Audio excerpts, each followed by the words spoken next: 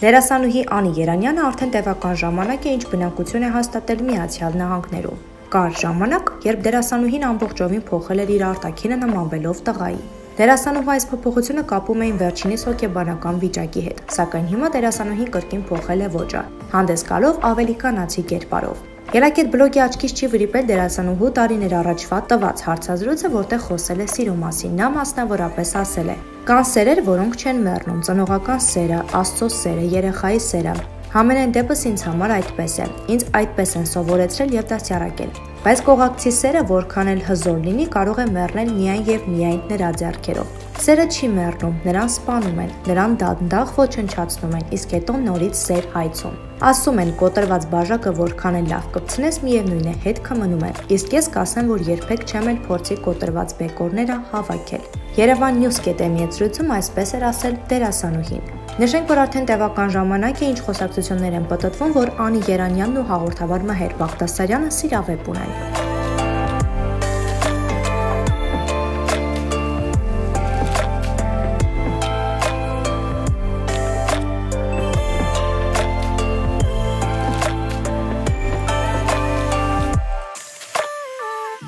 Բաժանորդագրվեք մեր ալիքին սեղ մեկ զանգակի վրա, որpիսի առաջինը դուք տեղեկացված լինեք վերջին եւ ամենաթեժ լուրերից։